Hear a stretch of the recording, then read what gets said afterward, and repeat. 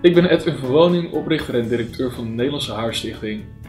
Er zijn tegenwoordig steeds meer mensen die interesse tonen in een baardtransplantatie, dus die er vragen over hebben. En er zijn ook steeds meer mensen die een baardtransplantatie zouden willen ondergaan.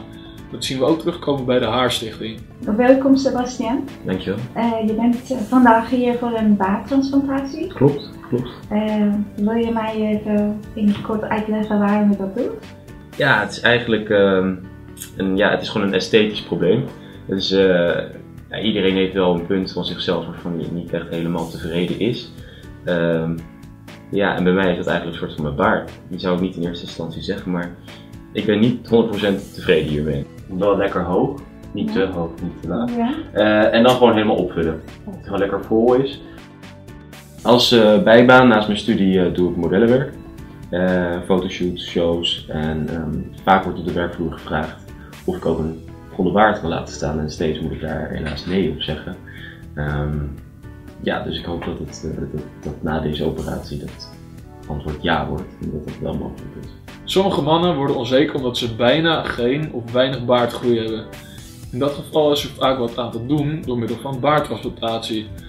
We zijn vandaag bij haartransplantatiekliniek Herpes Medical Care om een baardtransplantatie bij te wonen en om te kijken hoe dat er allemaal toe gaat.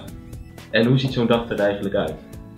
En nadat ik eh, al je vragen heb beantwoord, neem ik je mee naar fotokamer.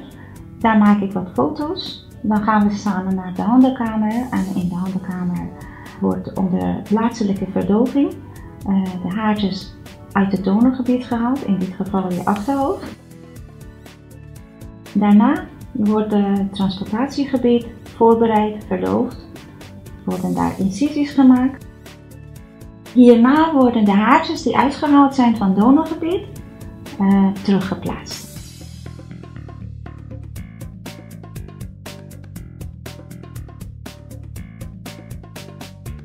Hoe heb je de behandeling ervaren?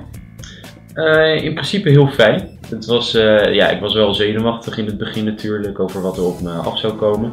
Maar ehm, nou ja, iedereen stelde me gerust. Het personeel was lief en aardig en ze kwamen me erg tegemoet. Vind je zover van resultaat, Sebastian? Ja, ik vind het eigenlijk eh, ik vind het heel mooi. Eigenlijk zelfs beter dan verwacht. Ik had een soort van in mijn hoofd had ik een idee over hoe het zou gaan worden. En eh, nu ik in de spiegel kijk is het eigenlijk boven verwachting. Dus ik ben eh, ja, heel blij. Uiteindelijk kan je zeggen dat het allemaal reuze meeviel, maar je moet er wat voor over hebben. Ja.